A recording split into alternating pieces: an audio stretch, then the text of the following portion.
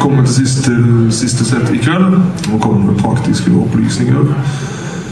Eh, de fotografiene som henger på veggen der, det er tatt av en fotograf fra New York som kom i ens ærend på eget initiativ.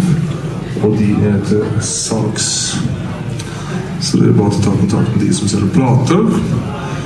Mens dere kjøper plater og T-skjorter etc., etc. Så må også takke Fond for utøvende kunstnere, ikke minst Norsk Jazzforum, som støtter denne festivalen veldig godt. Uten de så hadde ikke dette her hadde vi ikke klart å gjennomføre disse tre dagene. Og så håper vi på mer støtte fra Norsk Musikkfond, Oslo kommune. Vi får håpe. Og ikke minst den hollandske ambassaden, som har sørget for at vi får besøk av de to gitaristene i The X. Andy Moore og Terry X. Vær så god.